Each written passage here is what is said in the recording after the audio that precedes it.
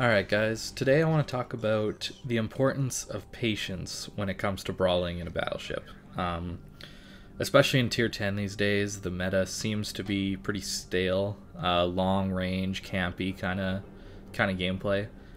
And that really doesn't lend itself to brawling in a battleship. Um, a lot of the maps are designed in such a way that you can't really push in without getting focused down by enemy ships.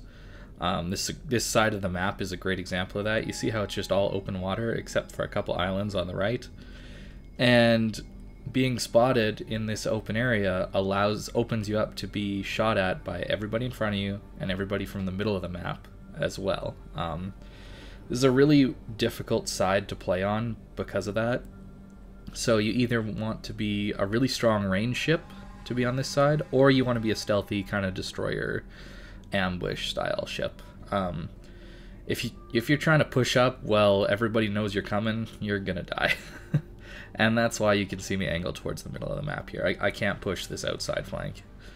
Um, I'll play with my team and I'll support if I can, but um, I'm gonna be waiting for the appropriate time to push. That's that's the that's gonna be the key here. Is you'll see some little bit of patience coming out. Um, if I was on the other side of the map, I would be pushing instantly. As soon as the game starts, I'd be gone because that side of the map, there's so much cover, especially around the 9-10 line. That's like one of my favorite. I think the 9-10 line on this map is my favorite um, place to be in this entire game. Um, unfortunately, it seems like I spawn on the 1-2 line far more often than the 9-10 line in this in this map, but that's okay. We can make it work. Um, mid game on this map is pretty fun. Um, this is one of the better designed maps. I, th I think this outer um, A-B kind of area isn't terribly well designed, but it's not bad. Um, so we're going to push up a little bit towards this main big island here. What I'm doing here is I'm just trying to keep um, any potential massive spam from the 4 or 5 line um, away from me. I, I want to focus on this Petro and this Yamato. Um, Fortunately, the DD spots these torps for us. We only two of them, but that could have been a lot worse. and that's, again, something um, about patience. I didn't know that there was a DD there, and I probably should have expected a DD to be there, uh, Destroyer to be there to ambush me. Um, but you'll see, we'll, we'll take some map control here. You see how their ships aren't very um, keen on pushing in on this side either. This is, that's kind of the problem with this side. It doesn't allow you to do much um, in the way of pushing. It's kind of just shoot at each other from range. Um, now I'm trying to get out because I see the Holland is pushing back towards this side of the map, so I know he could be torping me through here. So I just kind of want to cut off that angle that he could possibly do, and of course angle to the torpedoes, potentially where they're coming from. Um, so you can see we're, you know, nearly four minutes into this game, and I haven't really done any damage at all, or, you know, I just shot my first bit of secondaries, which is kind of kind of boring, but you sometimes have to be patient. Um, as you can see, Ohio guns are really nice. For a full secondary build, they're surprisingly accurate, and they do a ton of damage when you catch someone broadside. Um, and now we could potentially push up the 1-2 line since they don't have that cruiser, and we know what's there at this point. We know it's just a Holland, that Yamato, and um, this Daring.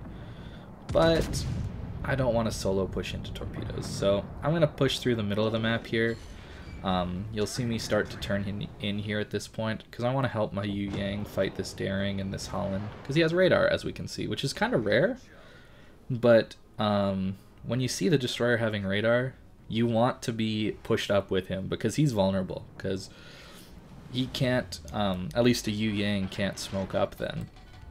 So, especially in a CV game, we need to protect this guy. So I'm going to push up with him to try and help him deal with this Holland yet as well. And at the same time, I'm seeing, I'm looking at the map and thinking, can I push through C?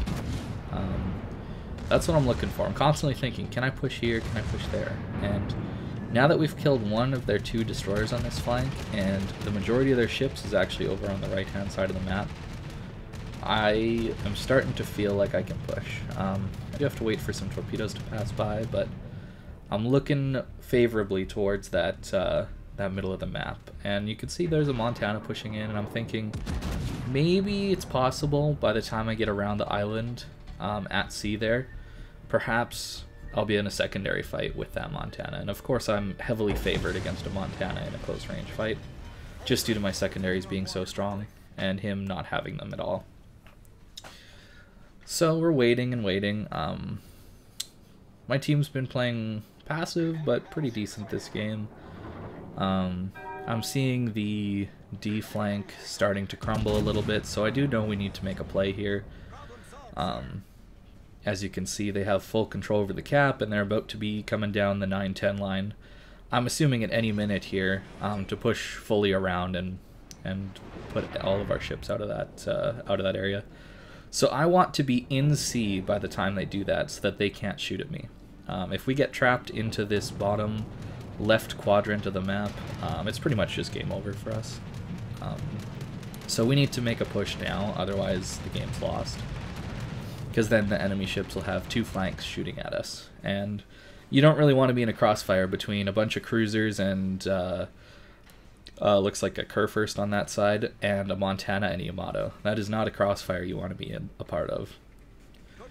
So um, we see the destroyer just launched his torps, so we're pretty confident that he's still on this left-hand side of these kind of middle islands here on the 4-5 line.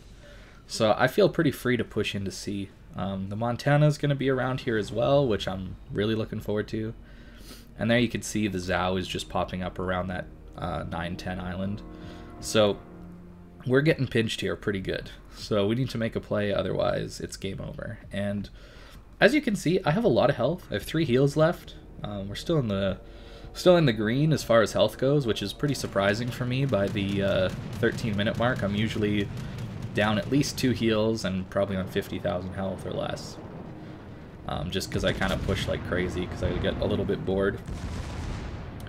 But uh, I did a good job of staying patient this game, I would say. And this is probably how, she, how you should approach most games. Don't expect to do tons of damage with a secondary build in the early game.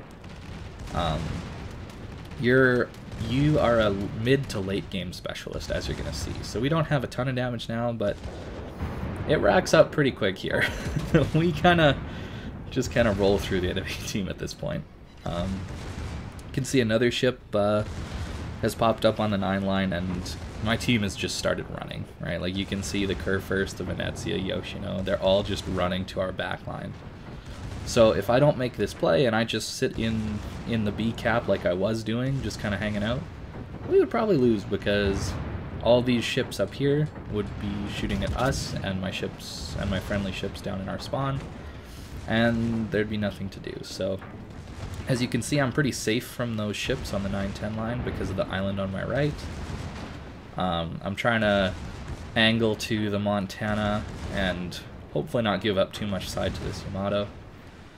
Um, I do get a little bit lucky with that Yamato not looking at me, but I mean a Minotaur is a pretty juicy target um, on my team there, right next to me. So we finally get the Montana, and now here's a, a weird situation. If I push straight out here, I'm giving broadside to both the Kurfürst and the Yamato on the enemy team. So I'm initially thinking, okay, turn left, go through the gap, and then deal with the Yamato, and then deal with the Kurfürst but I just check what the Kurfürst is doing with that um, with that kind of running lights mod or whatever that tells you if the ship's going forward or backwards. And I think I can probably sneak up uh, over top of this gap and deal with the Yamato while maybe getting some secondaries on the Kurfürst. As long as I can stay angle, if I can get out this uh, gap without giving too much broadside up, I should be fine. Um, nice little hit on the carrier. Unfortunately, we don't kill him. I, I, I tend to shoot carriers more than I should. I probably should have focused on the Yamato more here. Um, we're starting to take some fire from the uh, Kurfürst, as you can see, but we're pretty well angled at this point, so I'm not too afraid. It's mainly going to be his secondaries that deal damage to us, but at this range, they're actually not nearly as good as our secondaries are. Um, a couple fires lit up on that Yamato, a bit more damage on the midway. Um, you'll see that we don't actually end up killing him, so if you can't, if you don't just kill out outright an aircraft carrier, it's probably not worth shooting at them. There's usually a better target. Um, here's another nice thing about the uh, Ohio versus some other other secondary ships is the turret traverse stock is good enough that I can have my turrets turned in time for this Yamato to come around this corner, and we actually just don't take any damage from them. Um, it's a pretty nice feature of the uh, of the Ohio, I'll, I'll, I gotta say. These guns are, as far as all the secondary battleships are concerned, I would say these are probably the best guns you're gonna get um, on a battleship that can focus on its secondaries. His Kurfürst has a pretty massive advantage on us, as you can see. We're half health, he's full health. But we have a we have a little secret that's gonna that's gonna pop right now. And that's gonna help us win this fight because Confederate not only affects your main guns, gives you 20% uh, reload buff, it also affects your secondaries, again for 20%. So we we deal a lot of damage to this Kurfürst. um, our secondaries have 12% fire chance. We're just going to get a bunch of fires on this guy, and our our main guns obviously do a lot of damage too, being 457 millimeters. So you see, we've won this game pretty handily. Um, I'd say our push up the middle maybe didn't completely decide the game. We might have won it otherwise. As you can see, our southern flank did end up winning. Um, but it did allow us as a team to not deal with a Yamato Montana combo on our north flank and their entire enemy, the entire team pushing from the uh, from the right side as well. You know, we didn't have to deal with a crossfire, which I think probably helped us win the game. As you can see, big damage from these guns. They're they're really quite awesome. And yeah, that's gonna just do it for the game. We actually don't end up getting the uh, we don't end up getting the midway, unfortunately.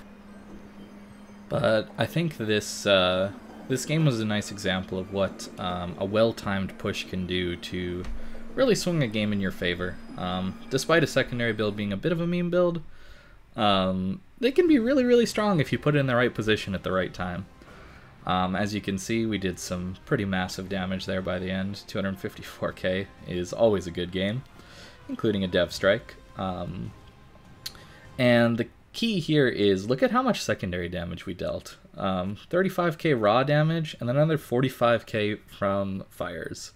And not a single HE shell um, sent out, which is pretty hilarious. And we ended up actually dealing 94,000 damage to that Kurfürst in that short, short, short period of time, which is pretty nuts. So, yeah, this is a nice little push. Um, I hope maybe a bit of patience. Uh, will help you guys do a little bit better with your secondary builds. So thanks for watching, and I hope you have a good day.